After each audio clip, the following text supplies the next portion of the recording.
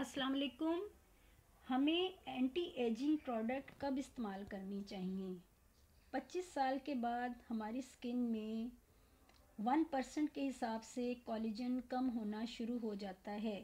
इसलिए ये इंतज़ार करना कि जब हमारे चेहरे पर झुरियाँ या लाइनें पड़नी शुरू होंगी तो तभी हम इसकी केयर शुरू करेंगे। तो ये ख्याल बहुत गलत है। आजकल का लाइफस्टाइल पोल्यूशन और इलेक्ट्रॉनिक गैजेट का इस्तेमाल हमारे चेहरे पर 20 से 25 साल की उम्र में ही अपने असरात दिखाने लगता है।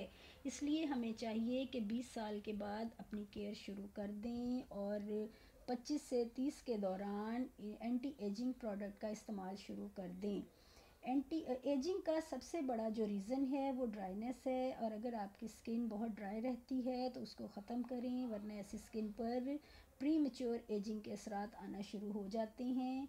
और फिर ये ख्याल किया जाता है कि शायद ऑयली स्किन पर जल्दी झुरियाँ नहीं आती, ऐसा नहीं है। आती हैं, लेकिन थोड़ा देर से आती हैं। अब अगला मसला कि हम लोग समझते हैं कि हमने अपने लिए कोई एंटी एजिंग प्रोडक्ट ख़रीदी है तो वो फ़ौर अपने असरा दिखाना शुरू कर देगी तो ऐसा मुमकिन नहीं है।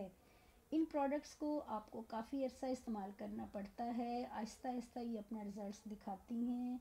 लेकिन इसके साथ साथ आपको कुछ दूसरी बातों का भी ख्याल करना है, यानी अपने चेहरे की क्लेंजिंग का ख्याल करना है, पानी का इस्तेमाल ज़्यादा करना है, अच्छी डाइट लेनी है जो कि प्रोटीन पर मुश्तमिल हो कोलेजन पर मुश्तमिल हो तो ही ये क्रीमें अपना असर दिखाएँगी, वरना खाली क्रीमें लगाने से आपको उसका कोई फ़ायदा होने वाला नहीं।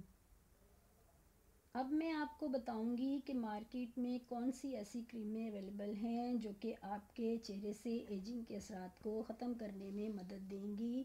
तो आप वो मार्केट से बासानी ख़रीद सकते हैं। ये क्रीमें जितनी भी हैं, इनके अंदर vitamin E almond ginseng collagen green tea और रेटिनॉल का इस्तेमाल किया जाता है। ये